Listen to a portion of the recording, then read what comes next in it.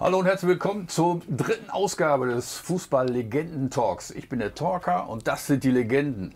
Nicht nur heute, sondern immer. Klaus Fischer natürlich, Rüdiger Bramczyk und heute zu Gast Matthias Herget. Freut mich, dass du da bist, Mathis. Freut mich auch. Schön, dass du es machen konntest. Und äh, ja, ein weiterer WM-Teilnehmer, Nationalspieler in unserer Runde. Ne? Ähm, gut, du hast 39 Länderspiele mehr als ich. Ja. Ne? Also. Ja, habe ich mir vorhin auch überlegt. Ja. Ja. Ja, aber, aber dafür hast du aber, dafür hast du aber mehr Ge die Gea, die Gea hast du Ja. mehr Länderspiele, oder? Genau. Mittlerweile, ja. Ja, der Einzige, der er war, nicht er war mitreden in darf. Holland Du. ja nicht dabei. Ach, war er nicht wir dabei in gegen Holland? gespielt haben. Ah, dann hättest du schon ein erstes Länderspiel gehabt, Ja. Jörg. Nee, hab ich noch nicht. Da siehst du. Ja, siehst du. Vielleicht kommt es ja noch. Ja. Kommt noch. Was gekommen ist, ist äh, der nächste Auswärtssieg. Ne? Am Samstagabend haben wir in Rostock gewonnen. Schweres Spiel. Was muss man sagen? Die Trikots waren anders, die waren neu. Wie haben sie euch gefallen? Ja, ich Die fand die gut. Ich fand die, fand die Trikots sehen gar nicht schlecht aus. Ne? Schalke Ne? war ja Oder? 1904 erst rot-gelb und wurde Ja. dann erst 1924 blau-weiß. Die Kollegen aus der anderen Stadt, aus der Verbotenen, Sag die ja, waren, alles, die waren am alles ist Anfang. schön, nur nicht schwarz-gelb. Ja, weißt du, was die als erste Farben hatten? Blau-weiß. Gründung? Blau-weiß. Ja, ja. Dortmund war erst blau-weiß. Ja, wo ändern die das in in die hässliche Farben dann? Keine Ahnung. Also, Wahrscheinlich, weil sie sich von uns absetzen wollten. Und ne, wir waren dann ja schon blau-weiß, als sie es geändert haben. Ja, also, schöne neue Trikots, das Ausweichtrikot und man ist erfolgreich. Was äh, hat dir das Spiel gesagt, Klaus? ja, das Spiel hat gesagt, dass äh, hoffentlich Terodi nie verletzt wird. ja, weil er ist äh, Torgarant für Schalke 04. Den brauchst du, um äh, vielleicht sofort wieder aufzusteigen. Und äh, ich wünsche ihm natürlich und unserem Verein natürlich auch, ganz klar, dass er keine Verletzung hat und vielleicht länger ausfällt. Im Fußball geht das ja manchmal ganz schnell und äh, die Gegner, die werden auch mal richtig einsteigen, wenn sie gegen Tirode spielen.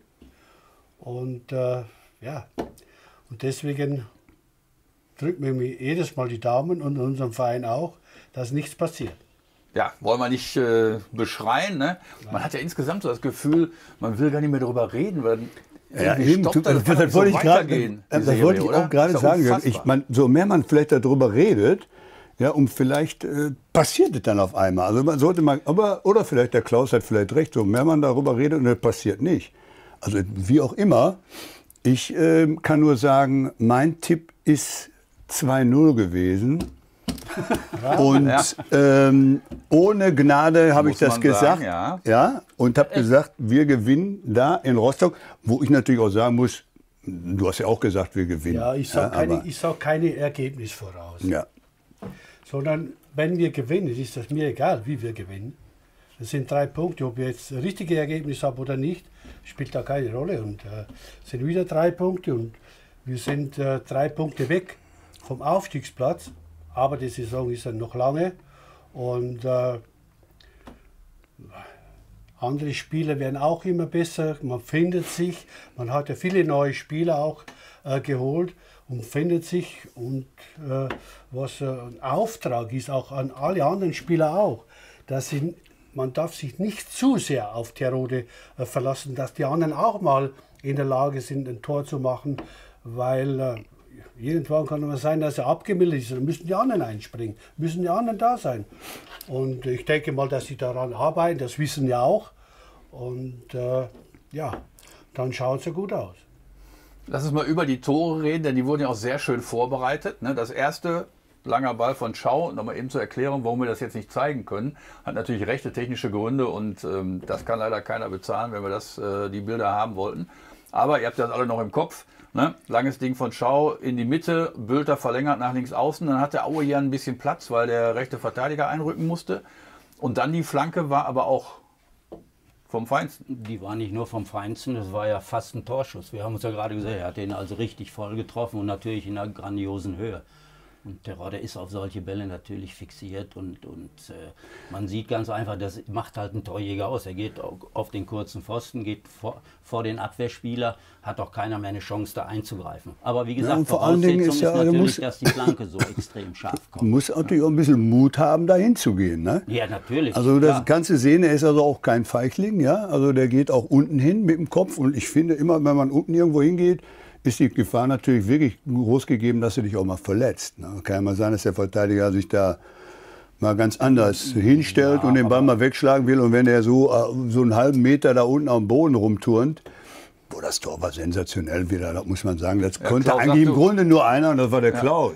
Also, Genau, das war nämlich Ja. wirklich ein Ja. Klaus Fischer-Tor So, eigentlich. In einer genau, Höhe, sehe die, ich die auch. eigentlich ein bisschen undankbar ist. Ja. Du weißt nicht, gehst du mit dem Fuß dran oder mit dem Kopf. Geht noch für den Kopf, aber dann musst du ziemlich weit runter. Ne? Ja, aber du bist als, als Mittelstürmer bereit, wenn die Bälle reinkommen. Und äh, du kannst ja nicht immer erwarten, dass die, die Bälle in Kopfhöhe kommen, sondern du musst bereit sein, egal wie sie kommen, ob flach, halb hoch.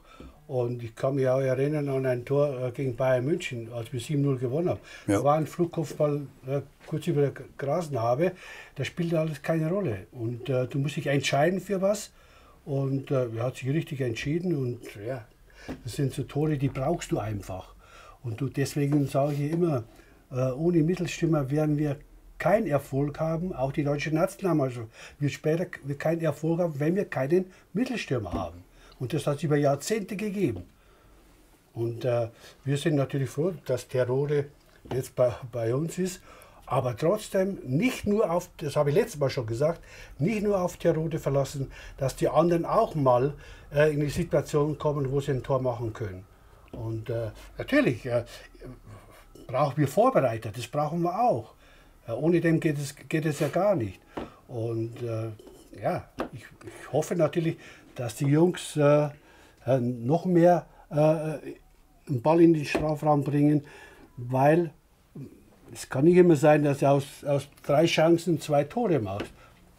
Da brauchst du vielleicht mal mehr, mehr Bälle, die reinkommen und dann, ja, dann bin ich sehr zuversichtlich, muss ich sagen. Bei euch beiden wäre die Flanke anders gekommen. Ne? Ihr hattet ja die Verabredung, wenn der Flankengebende, also Abi oder Erwin, Zeit hatten, dann kommt sie lang an zweiten Pfosten. Und er hatte Zeit, der Aujan. Ne? Also da wäre sie Ja. eigentlich, du wärst wahrscheinlich jetzt nicht abgesetzt. Hättest du einen Schritt nach vorne gemacht, hättest dich nach Aber- hinten abgesetzt. Aber man Aber- muss ja davon ausgehen, der Abi und der Erwin, die haben ja auch vorher noch mal geguckt. Ja. Ist, ja nicht so, ist ja nicht so, dass sie nicht wussten, wo der Klaus steht. Ja. Die wussten ja und die kannten, wussten ja auch, wie er sich gerne bewegt. Natürlich, wenn man schon relativ, ich sag mal, mittig vorm Tor ist, dann läuft man mit Sicherheit als Stürmer nicht nach hinten. Ja. Sondern dann gibt es natürlich nur noch einen Weg vorne hin. Es, es, ich hab, ich Ne? ja letztes Und das ist ja- Es kommt da immer darauf an, ob er Zeit hat zu schauen.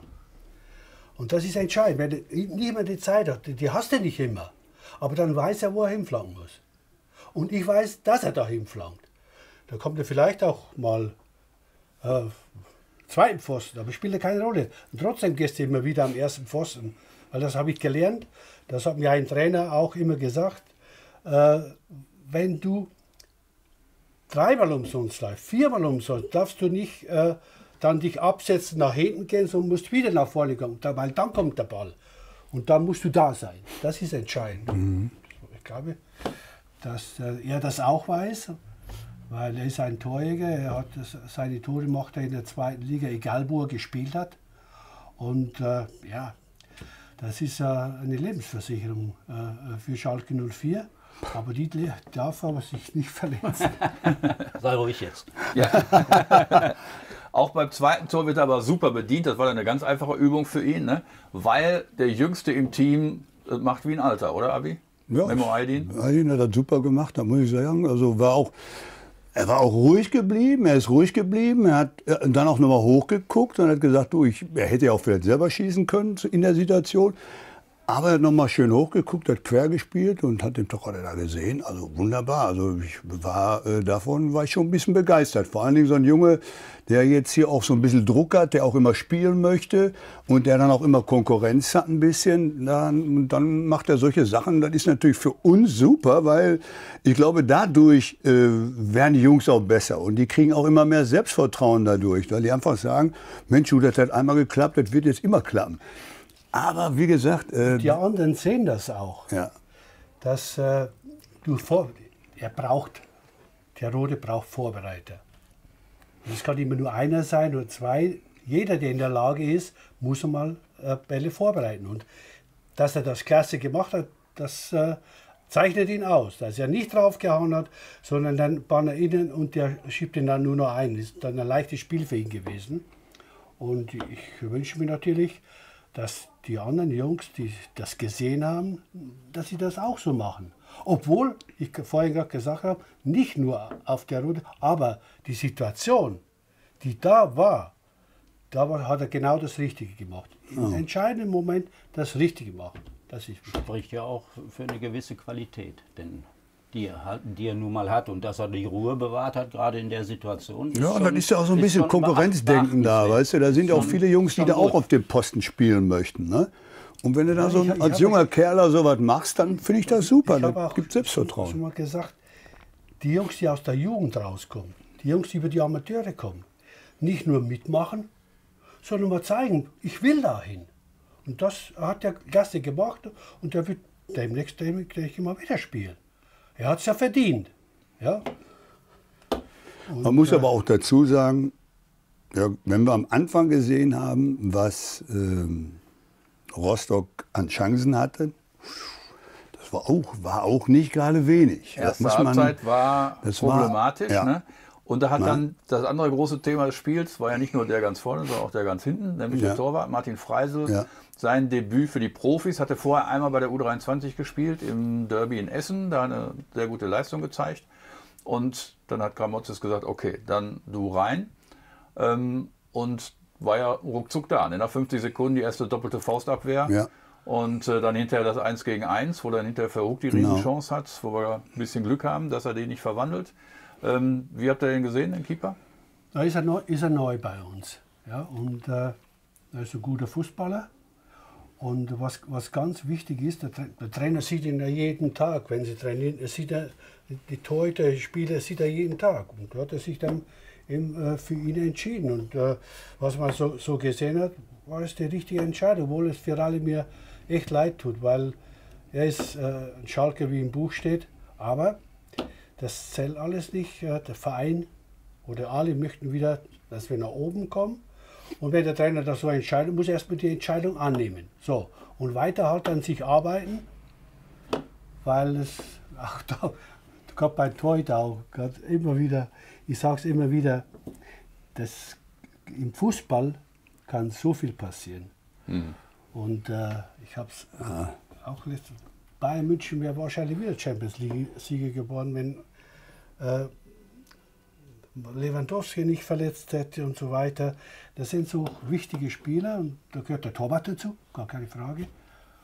Und äh, ja.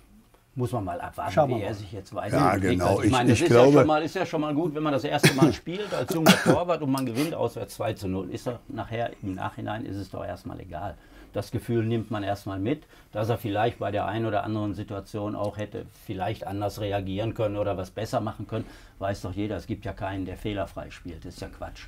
Und ja. von daher, von daher, aber das nimmt er doch erstmal mit, auswärts gewonnen 2 zu 0 und gibt natürlich jetzt keinen Grund, so leid mir das auch für den Ralf Herrmann tut, aber gibt ja keinen Grund daran, was zu ändern für das nächste Heimspiel. Ist ja gut, das ist ja Konkurrenz, wie wir schon gerade gesagt haben. Da sind ja einige Jungs, die hinten dran hängen und die würden gerne spielen oder möchten gerne ja, spielen. Ja gut, aber dann müssen sie aber auch Druck ausüben. Ja, na, ja die, deswegen sage ich ja. Ne? ja wenn, der Ralle, wenn der Ralle jetzt keinen Druck ausmachen würde dann, und nur auf der Bank sitzen würde und würde sagen, du, ich mache jetzt gar nichts mehr, wäre auch falsch. Ja, er muss gucken, dass aber er das wieder im reinkommt. Nein, nein, ich, ich, nein, nein, ich meine das jetzt auch nur. Ja. Druck zu machen, äh, mein Freund gegenüber, ja. Äh, sonst äh, sitzt du da bis, äh, bis 2025. Das ist genauso bei den Feldspielern die hinten dran stehen, die müssen versuchen, Druck auszuüben. Natürlich. Aber das kannst du nur übers Training. Und wenn du dann mal die Chance bekommst, mit der Halbzeit oder eine halbe Stunde zu spielen, dann muss man da sein. Dann muss du auch selbst den Druck aushalten, den das ja. macht. Dann, ja, ja ne? gut, aber das ist ja normal. Das ja. ist ja normale, normaler, Konkurrenz, normaler Konkurrenzkampf. Das ist nun mal so. Und je, ich sag, je mehr du hinter, hinter den ersten Elfen hast, die jetzt gespielt haben, die Druck ausüben, umso besser ist es für die gesamte Mannschaft. Denn davon ja, profitieren letztendlich alle. Ja, klar. Ja. Und das ist es. Ja, am Ende steht ein zu Null Sieg, der dritte Auswärtssieg von vieren, dreimal zu Null. Zu Hause haben wir noch nie einmal zu Null gespielt. Wie kann man das erklären? Tja, das, Das ist das, was ich dir immer gesagt habe und die, und die ganze Zeit auch erzählt habe, schon das ist die dritte Sendung. Ich habe immer gesagt, du musst, du musst zu Hause gut stehen. Und den Eindruck habe ich nicht. Muss ich ganz ehrlich sagen. Ich finde, und das haben wir letzte Mal über diese Dreierkette gesprochen. Ich weiß nicht, ob man, ob diese Dreierkette so gut ist zu Hause. Ja, weil da verlässt man sich wirklich auf diese drei Leute da hinten. Und weil wir die, unsere, Außen, unsere Außenverteidiger eigentlich viel nach vorne laufen, ja, viel nach vorne laufen, die auch manchmal den Rückwärtsgang nicht mehr reinkriegen, weil sie eben kaputt sind, weil sie flanken, zurückrennen, nochmal hin und her. Dann muss man diese drei Leute, die müssen sich 100% absprechen. Und das ist das, was ich ja gesagt habe. Da darf keiner 30 Meter vorher irgendwo links oder rechts rausrennen, sondern die müssen warten bis zum letzten Moment, wo sie dann sagen, jetzt müssen wir blocken. Jetzt muss, jetzt muss einer raus. Aber ich hab, wir haben ja schon wieder darüber geredet, gegen, gegen Düsseldorf war das ja so. Ja, zweimal rausgelaufen, wo gar nicht notwendig war. Flanke, zack, Tor. Ja? Vielleicht sollte man das System ändern. Ich weiß es aber nicht.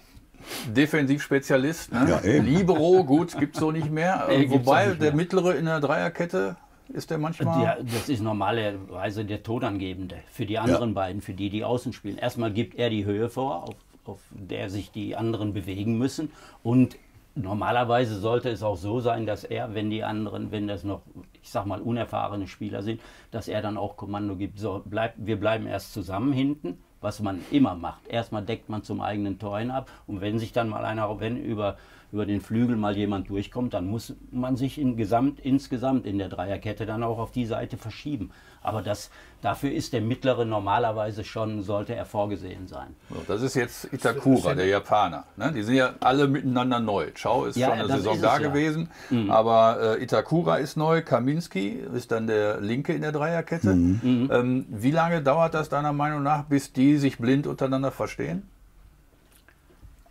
Blind verstehen, das dauert eine ganze Zeit. Also das geht nicht von heute auf Du morgen. weißt ja auch nicht, in welche Sprache sie sich unterhalten. Das weiß ich zum Beispiel nicht. Englisch, weil Itakura ja Gut. kein Deutsch kann. Der Ja. war in Holland lange, der kann ganz gut Englisch. Ja. Ne? Chao kann es auch und ist Kaminski ja, auch. ist ja nicht so, dass du da äh, einige Sätze erzählen musst, sondern Ja. du musst dir nur einen kurzen, kurzen äh, Wink geben, Ja. geh raus oder sonst irgendwas. Und das, das sollte dann schon reichen im Spiel. Du musst ja keinen Aufsatz schreiben oder, oder wie gesagt, einen Aufsatz formulieren. Das ist ja Quatsch.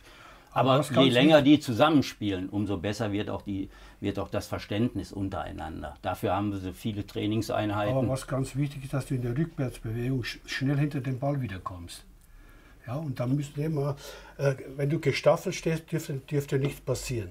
Dass eben ein Mittelfeldspieler dann auch äh, äh, hilft äh, auf der Außenposition. Das spielt alles keine Rolle. Nur wenn du nicht äh, genug nach vorne kommst, dann wird es dann wird's natürlich gefährlich, weil dann ist es leicht eins gegen eins zu spielen. Und deswegen äh, schätze ich mal, äh, dass im Laufe der Zeit, im Laufe der Saison äh, noch besser wird. Spielen so lange spielen nicht zusammen. Und ich glaube schon, dass das, auch wenn Latzer wiederkommt, der das bei Mainz gut gespielt hat, dann, ja, Ja, wird wichtig das ist einfach das. Mittelfeld, Okay, da Abwehr, Sturm, dass die nicht so weit auseinander sind, ja, dass du ein Riesenloch hast. Das ist immer wichtig, finde ich. Und gerade wenn du zu Hause spielst, wenn du da, was weiß ich, so ein Loch von 30, 40 Meter hast, dann hast du ein kleines Problem, weil da laufen die anderen alle rein. Ja, aber wenn das ziemlich eng ist, ja, dann ist das nicht der Fall, dass du sagst, pass mal auf, da kommen wir irgendwie gut durch. Ja, und so müssen die sich, also die müssen sich nach vorne verschieben und müssen sich nach hinten auch alle so verschieben. Und das, sobald, ich sag mal, sobald ein Loch mehr als 25 Meter oder 30, dann, Dann ist wird's- schon ein kleines Problem. dann Ja? Dann hast du schon ein Problem. Und deswegen, das ist eigentlich die große Abstimmung. Nicht, weil die drei jetzt da hinten stehen, sondern dieses Mittelfeld mit Sturm und und und. Wer greift als Erster an? Ja, wer verschiebt sich? Und dann muss es eng gemacht werden. Und wie der Mathe schon gerade gesagt hat, einer gibt Kommando. Aber die stehen auf einer Höhe. Die können auch mal raus und dann ist Abseits. Ja, aber äh, da, das ist das Spiel, wenn du mit einer Dreierkette spielst. Sie müssen sich blind verstehen. Und wenn einer sagt, so wenn der Mattes gesagt raus, Da gehen die raus und dann ist Abseits. Ja? Aber die Löcher dürfen nicht zu groß sein. Gut, da muss man aber der Mannschaft jetzt auch noch ein bisschen Zeit geben. Wie gesagt, es sind ja viele neue Spieler dazugekommen. Das kann man nicht erwarten, dass das von heute auf morgen klappt. Deswegen tut so ein Sieg mit Sicherheit ganz gut. Man sieht auch, wie gesagt, nach, dem, nach der ersten Halbzeit in Rostock, dass da noch einiges verbesserungswürdig war. Äh, Und daran gilt es natürlich gilt es zu arbeiten. Aber wie gesagt, das Spiel hast du letztendlich 2 zu 0 gewonnen und das nimmt man doch erstmal mit. ge- genau, und das die fällt, fällt das Arbeiten jetzt in der Woche doch wesentlich leichter. Das ist ja Und die das werden Schöne. sich das Spiel ja anschauen und äh, Natürlich. wird darüber gesprochen, was man hä- hätte verbessern oder was, was man verbessern muss. Und das wird von, von Spiel zu Spiel äh, mit Sicherheit dann besser. Wenn sie das umsetzen, was abgesprochen wird.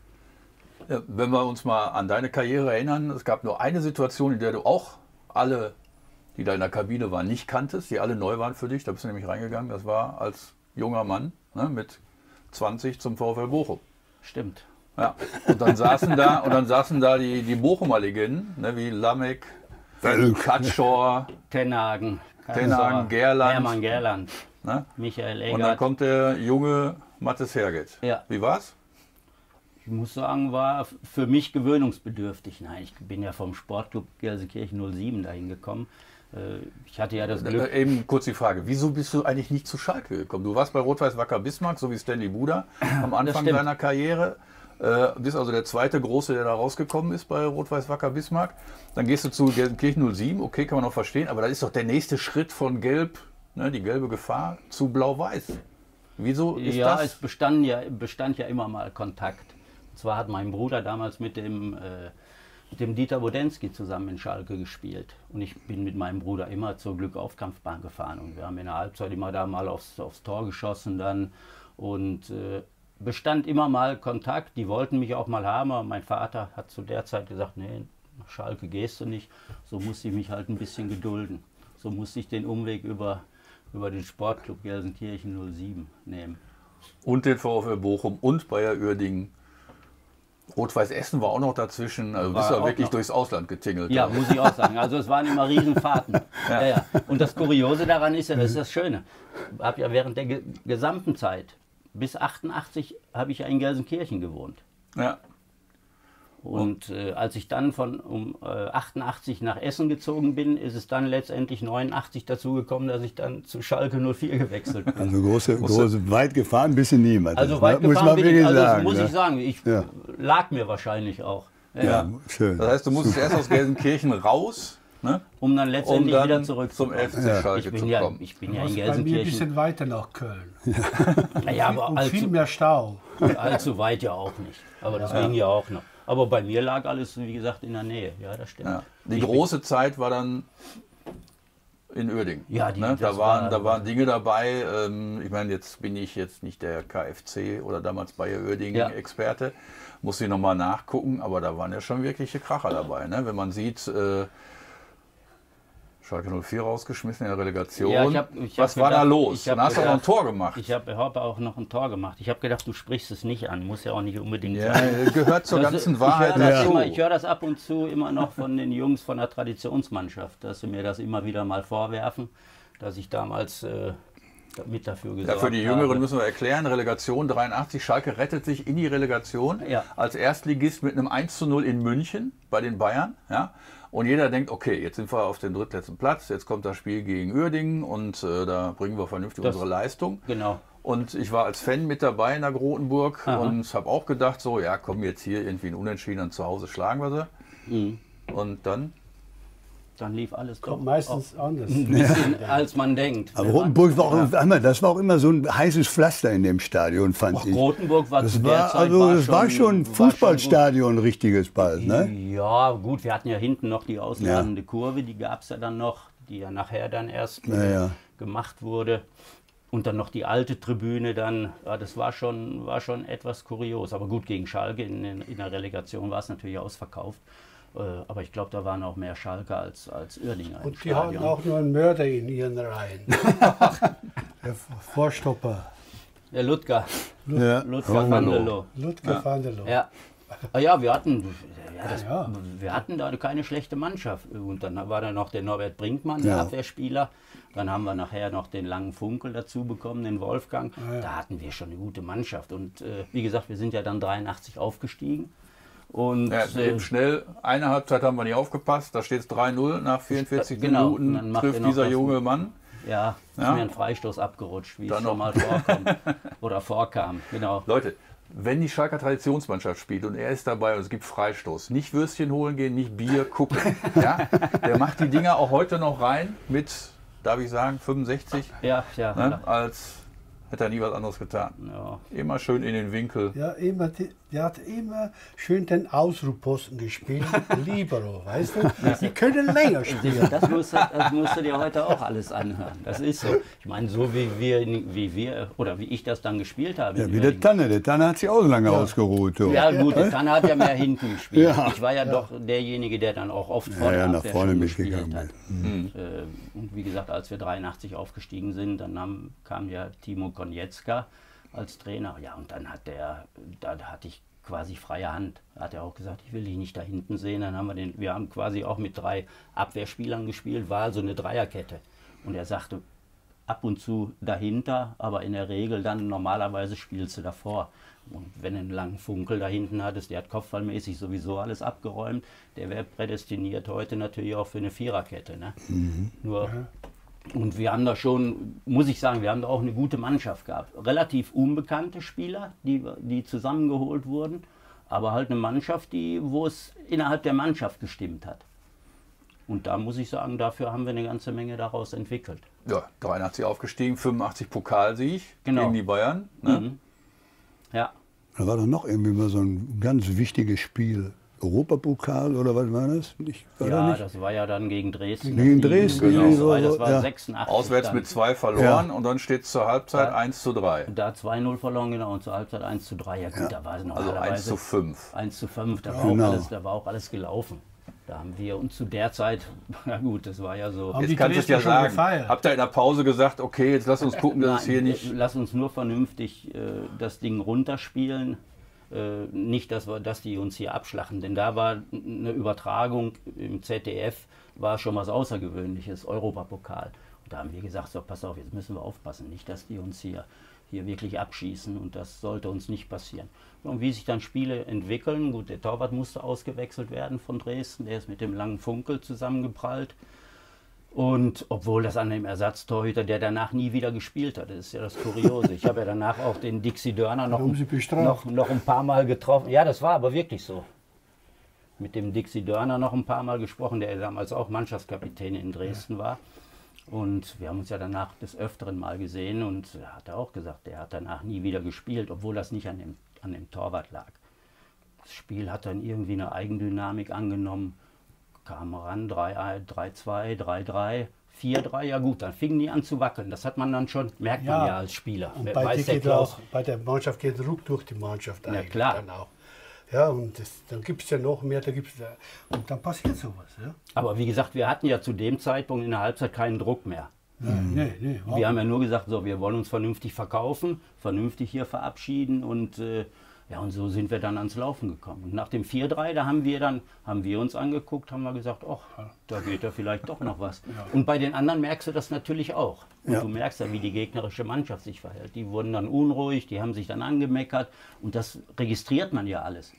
Und dann haben wir gesagt, so, jetzt gucken wir doch mal, was noch machbar ist. Ja, und dann war das ein ja, im Nachhinein ein Wahnsinnsspiel. Absolut. absolut. Firmiert unter das Wunder der Grotenburg. Ja. Ne? 7 zu 3 der Endstand. Damit waren die zwei Tore Rückstand aus dem Hinspiel natürlich mehr als egalisiert. im Fernsehen. Ja? Ja, da waren einige auf einmal äh, Uerdingen-Sympathisanten für eine kurze Zeit. Ne? Natürlich auch vorher, der Pokalsieg hat auch schon geholfen, ne? gegen die großen Bayern zu gewinnen, so einen, Das um stimmt. Titel. Ähm, das kam auch gut an beim Restvolk, ne? bei den Nicht-Bayern-Fans. Ähm, und dann hat der auch noch äh, Halbfinale gespielt gegen Atletico Madrid. Ihr habt äh, in, im Jahr drauf UEFA Cup gespielt gegen Barcelona Ah. mit dem kleinen Uerdingen. Das war doch schon Nein, das waren große also Nummer. für unsere Verhältnisse war das schon war das schon grandios und wir in der Zeit hat ja auch keiner von Bayer Leverkusen gesprochen. Da waren wir ganz klar, waren wir, also ich sag mal, die Macht, interne Werksmacht waren wir am Der Bayer. Dormagen war auch ziemlich gut. Ja, ja, gut, im Handball aber. Da habe ich in der dritten Liga gespielt oder gespielt am Bayer Leverkusen. Ja, ja, das äh, muss ich sagen. Das war schon, war schon eine grandiose Zeit. Doch. Ähm, sag mal, wo du gerade sagst, äh, dass solche Spiele ja auch nur selten im Fernsehen übertragen wurden. Ihr hattet das Glück, dass die ganze Nation zugucken konnte. Wie habt ihr die Relegation gesehen? Wurde die überhaupt im Fernsehen übertragen? Weil ihr wart ja bei äh, anderen Vereinen dann, Ich weiß halt gar nicht mehr. 83. 83. Aber ich meine, die wurden übertragen, ne? Kann jetzt sagen, 81, da war ich noch, spreche ich nicht aus. Bei den Bist du da umgetingelt? Sagt die anderen. Ach so, ja, ja gut. So 50 Kilometer. Köln, ne? aber, 83 war ich in Köln, ja. Aha. Aber ich meine, Na gut, aber wäre jetzt interessant gewesen, weil ich war natürlich im Stadion bei beiden Spielen. Rückspiel dann Das ist ja 1-1. 35 glasklare Chancen auf Schalker Seite. das stimmt. Pfosten, Innenpfosten, Torwart, Torwart, Innenpfosten, Also da haben wir Latte. schon reichlich Glück Unfassbar, Ja, ja. unfassbar. Das haben wir doch auch mal gern. Weißt du 1-1. noch, Pfosten, Latte, was war gegen äh, Saarbrücken, wo wir 1-0 zu Hause verlieren. Weißt du, nur dann wir die Meisterschaft Die deutsche. Meisterschaft gekostet. Ja, 71, 72. Ja, da haben wir Wir die, auch eine Stunde spielen können, Ja. kein Tor. Die Bälle gingen überall hin Nee. und nicht ins Tor. Und die kommen einmal durch. Und ja, Der Enver Maric, der, statt den Ball aufzunehmen, will er mit dem Fuß wegschlagen und hat- schlägt, Daneben. daneben. der Ball geht ins Tor. Verlieren also. Unentschieden hat schon gereicht. Ja. Weil wir das bessere Torverhältnis Ja. hatten als Gladbach damals. Das war ja, das war ein Spiel. äh, wann war das? 77. 77. 77, 77 Genau. war das. Ja. 77. Dann hat er noch Bayern-Gladbach gespielt zum Schluss und wir haben Dortmund 5-0 zu Hause geschlagen. Genau. Wenn Bayern gewonnen hätte, 4-2? 4-2. 4-2 war das? Ja. Wenn Bayern gewonnen hätte, ich jetzt ein anderes. Ergebnis im Kopf gehabt. ja. aber es war eben Freitag so. vorher in der Sportreportage, warte mal, Freitagabend die Sportreportage im ZDF, hat Franz Beckenbauer gesagt, ja Kutte, wie das Spiel ausgeht, wir brauchen einen Punkt für den UEFA-Cup, wir brauchen einen Punkt für die Meisterschaft, werden wir wohl unentschieden spielen. 2-2. Allerdings hatten die Gladbacher geführt und haben den Bayern eine 2-2 geschenkt, damit die, ne, so. Das war also, reicht nicht ganz zur Deutschstoßlegende, aber Kommen wir nochmal zurück zu dir. Du bist dann spät, wie wir gehört haben, doch nochmal zum FC Schalke gekommen. Ähm, aber da waren wir in der zweiten Liga, hatten, wären fast abgestiegen aus der zweiten Ja. Liga. Ne? 88, 89 war ja die große Rettung gegen Blau-Weiß 90 Berlin. Äh, Peter Da war ich auch im Stadion, ja, ja. Ja, da war uns zwischendurch auch schon ganz schwummerig. Und da hatten sie in, in Ohr-Erkenschwick hatten sie schon, glaube ich, den Gesamtetat um 95 Prozent erhöht. Ne? Weil sie dachten, sie hätten ein Heimspiel gegen uns in der nächsten Saison. ähm, und dann kommst du zu Schalke und da ist natürlich der Auftrag Aufstieg. Aber hat auch nicht hingehauen. Schlechte, schlechter Saisonstart. Dann wurde es wieder besser. Ja, es lief nicht, lief nicht ganz rund am Anfang, das kann man sagen. Dann wurde es nachher so peu à peu besser, aber die gute Zeit habe ich dann leider nicht mehr miterlebt, weil ich mich dann verletzt habe. Und dann musste ich, musste ich halt aufhören. Das Kuriose war nur, dass mich ein Mitspieler verletzt hat. Wie ist das denn passiert? ja, ich will dem Didi Schacht, hallo Didi, will ich ihm nichts Böses. Der Nein, Quatsch, Didi es war das? Eine, ja, ja, Spiel gegen, gegen Rot-Weiß Essen. Kommt eine Ecke, ich stand immer am kurzen Pfosten. Kommt rein, ich laufe nach vorne, stehe mit dem linken Bein, will den Ball wegschlagen und Didi kommt von hinten angeschossen, will mit dem Kopfballtorpedo will erklären. In der Höhe, da war die Situation, die man als Stürmer ja nicht Ja. ganz so gerne hat. Nur ich war ich war sein Mitspieler und er fliegt von hinten rein, trifft mich mit der Schulter hier in der Kniekehle und ich stand auf dem fest auf dem Boden und dann war die Patellasehne durch. Und das war dann leider Anfang vom Ende. Ja, hast du dann in dem Alter nicht mehr die Kurve gekriegt. Nee, Kriegst du denn die Würstchen dann noch vom Didi? ich war noch nicht da, ich werde ich werd mal hingehen. Auf Lebenszeit dann mal. Hat er ja erst später aufgemacht. Oder? Hat er ja erst später aufgemacht. Da fährst du mal vorbei und sagst, Didi, hör mal zu, jetzt hier ja, mal ja, auf Lebenszeit will mal Würstchen. Du Ja. weißt ja, wo er steht. Ja, ja, ja, bei Stölting steht der, glaube ich. ja, Ne? ja, klar. Ja, ja. Ja, das ist, glaube ich, in verschiedenen Städten Ja. an verschiedenen Tagen. Ne? Aha. Ähm, ja, aber dann ist dein letztes Spiel, dein letztes Profispiel von über 500, wenn wir die Länderspiele dazu rechnen, äh, ist dann ausgerechnet das in Hessen-Kassel wo klar ist, wir steigen nicht auf Genau. in dem Jahr und wo das, ihr seid, wir sind Schalker und ihr nicht erfunden Richtig. wurde. Ne? Ja, das ist da, das da, Abschluss. Lief, da lief es teilweise Ja. so ab wie, wie leider in der letzten Saison. Nach dem, wir sind also dann am Parkstadion angekommen. Haben uns auch einige erwartet, aber nicht, war nicht ganz so aggressiv. Natürlich wurden wir dann auch beschimpft und weil, ja gut, wir hatten ja auch mit mehr gerechnet. Wir wollten ja letztendlich aufsteigen. Aber ich habe mich dann, wie gesagt, nochmal dazu durchgerungen, habe gesagt, so, jetzt habe ich sechs Monate Reha-Maßnahmen gemacht bei dem Bernd Restle in Düsseldorf. Ich sage, jetzt muss ich halt, muss ich mal gucken, ob es wieder geht. Dann habe ich gespielt, habe dann noch einige Trainingseinheiten gemacht und dann hat sich leider herausgestellt, dass es dann, dass es nicht mehr geht. Da war ich den Anforderungen im Profibereich halt nicht mehr gewachsen. Schön, dass es noch für die Tradition reicht, um da ab und zu mal einen in den Winkel zu streicheln. Ja, ja, eben. Nein, so. Ich habe ja auch immer wieder gesagt, Glück im Unglück. Denn wenn er mit 34 dich verletzt, das gleiche hätte dir ja auch mit 22 passieren können. Deswegen sage ich ja immer, es ist ja, es ist ja toll, dass wir alle so viele Spiele machen konnten, aber wir sollten alle dabei nicht vergessen, dass auch viel Glück dazu gehört. Und Um- vor allen Dingen hattest du das nicht vergessen. Früher Ja. wurde ein bisschen brutaler gespielt. Ja. mal, heute, heute ist ja, äh, So kriegt ja jeder sofort eine gelbe Karte, wenn er, wenn er nur so anpackt. So wie Klaus Fischer, Ja, wenn die Stürmer ja. früher Ja. oder wenn die zu uns äh, oder nach Uerdingen kamen oder egal, wo du als Abwehrspieler gespielt hast, hast du den Auftrag gehabt, nimm die erste Situation mit und pack ihn dir schon mal. Ja. So wurde früher gegen, gegen, so. gegen Ja. Stürmer gespielt. Ne? Heute sind die doch, die sind ja, ah, die sind ja, die leben doch im Schlaraffenland, die Stürmer. Ja. Nein, das ist so. Die freundlich zueinander. Ja, aber das, aber das ist so. Ja.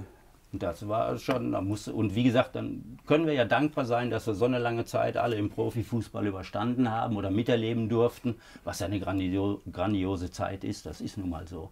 Gibt doch nichts Schöneres, Schöneres als Profifußballer zu werden und dann über viele Jahre dabei bleiben zu können. Aber wie gesagt, gehört auch eine Menge. Glück dazu. Apropos Glück, ab und zu rutscht einer rein, hast du gesagt. Ne? Abi, hast du mal das Tor des Monats geschossen? Nee, Zweiter wurde ich. Aber irgendwie ein Mädchen Dafür oder irgendwie keine eine- Plakette, Nee, ne? nee, gab gar nichts für. Ich meine, es war irgendwie eine, eine Frau, die hat irgendwie, die hat die Hat tolles Monat. Ja, die hat mich geschlagen. Ja, lach doch Erst hat sie ihn. Ja, ja. Nein, das, was soll viel das? ausgespielt, Was soll Ja, das? weißt du was, hätte ich schon wieder so nicht linken Also sein, hat- sein böses Grinsen und so, ah, eine Frau. Ah.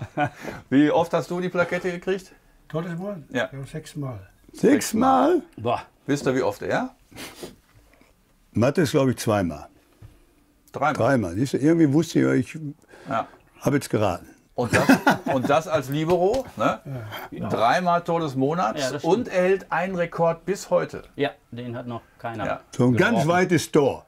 Nein, Nicht? Ja gut, das war, nee, nee, das Da war, hast du doch auch mal so eines Das- gemacht, ne? So ein, so ein, Das war das erste in der Form. Ja. Gegen den Uli Stein genau. damals. Ja, Der- genau, meine ich doch. da Das war doch am, da von der Mittellinie irgendwie, ne? Kurz Oder hinter so, der ne? Mittellinie. Ja. Und der Uli Stein war ja, ja- bekannt dafür. Aber das ist ja.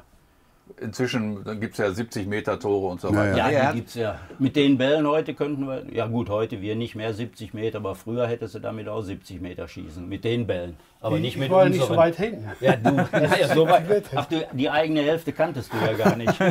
Auch bei Standardsituationen war ich auch Doch, doch, das weiß ich schon. Ja, da haben wir ihn immer genommen zum Kopfball. Ja, ist doch Zum klar. Kopfball weghauen, zack. Ja, Mit dem. Rolli zusammen am besten. Aber du hast die, die Statistik noch voll drauf, ne? Dein Rekord ist folgender. Ja, kurios, das hat mir irgendwann, ich sage jetzt ganz ehrlich, vor zehn Jahren mal einer gesagt, weil da kam das wohl auf mit den ganzen Statistiken und haben die in den Archiven gekramt und ja, sprichst auf den, auf den Elfmeter-Hattrick an. Genau. Ja. Drei Elfmeter-Tore in einem Spiel als lupenreiner Hektik. Also hintereinander weg. Ja. Hat es vorher nicht gegeben und nachher auch nie wieder. war wie du nie. 1980. Ne? Für Rot-Weiß Essen. Rot-Weiß Essen, genau. In einer Hälfte. In einer Hälfte Gegen- und alle verwandelt. Und alle verwandelt. Einer links, einer rechts, einer in die Mitte. ja, Ja, ja. ein guter Schiri. Muss ja ein super Schiri gewesen sein. Ja, ich glaube, das war gegen Holstein Kiel. Das Spiel haben wir 6-1 gewonnen oder so. Da hat Frankie Mill noch vorne drin gespielt und der hat, glaube ich, zwei rausgeholt. Frankie war ja auch Ja, Frankie war natürlich Beziehung. einer, der, Betonung auf rausgeholt. der rausgeholt. Ja, Ich habe ja nicht nie. gesagt geschunden, rausgeholt. Elf, elf Meter rausgeholt habe ich, habe ich nie. Also, Nee, das war, das war Das nicht, war nie ne? mein Ding. Nee. ja, Wie hieß der nochmal? Der Schiedsrichter, der immer hier bei uns, Elfmeter der, der große Lange, wie hieß der denn auch nochmal? Eschweiler? Nicht, war das der Eschweiler gewesen? Ja klar, der Eschweiler. Der der. Ja, der war doch so ein großer, Ja, verhältnismäßig Eschweiler groß war war ja der. bisschen und größer, der ne? Eschweiler, da bin ich mal einmal so an der Außenlinie vorbei, da wollte ich einen Elfer rausholen. Ne? Da kam einer zu mir, ja, pass mal auf, du bist hier nicht richtig reingelaufen, sonst hätte ich gepfiffen. da bin ich so, weiß ich, so an, an, der, an, der, an dem Rasen so ein bisschen, da bin ich hingefallen. Ich sag, Eschweiler, war doch ein Elfer. Sagte, er, aber das war nicht so. Du musst mehr reingehen, hat er gesagt. Du musst mehr reingehen. Werde ich nie vergessen, er war bei uns im Parkstadion. Ja, kommen wir nochmal zurück zur Gegenwart. Äh, Elfer haben wir noch nicht gekriegt in dieser Saison, aber wir sind die einzige Mannschaft in der zweiten Liga, die in jedem Spiel mindestens ein Tor geschossen hat. Ja, alle anderen hatten schon mal die Null an der falschen Stelle. Und das wollen wir natürlich, dass es so bleibt, gegen Ingolstadt. Nächste Aufgabe.